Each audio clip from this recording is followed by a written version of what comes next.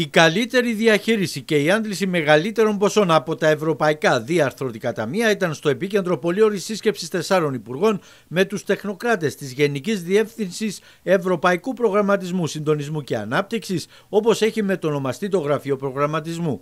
Σύμφωνα με τον επικεφαλής της Γενικής Διεύθυνσης Γιώργο Γεωργίου, στόχος είναι η δημιουργία σωστής υποδομής ώστε η Κύπρος να αντλήσει από τα διαρθρωτικά ταμεία ποσό 640 εκατομμυρίων ευρώ μέχρι το 2015 και άλλων 700 εκατομμυρίων την περίοδο 2014-2020.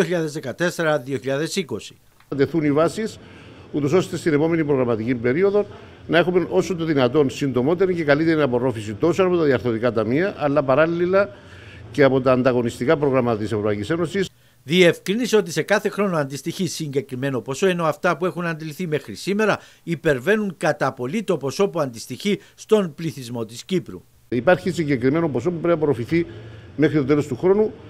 Είμαστε αισιόδοξοι ότι δεν θα χαθεί ούτε σεν μέχρι το τέλος του χρόνου. Στη σημερινή σύσκεψη ήταν προγραμματισμένο να παραστεί ο πρόεδρος της Δημοκρατίας προκειμένου να ενημερωθεί για την διαχείριση των ευρωπαϊκών κονδυλίων. Ωστόσο, λόγω βεβαρημένου προγράμματος, ανέβαλε την επίσκεψή του.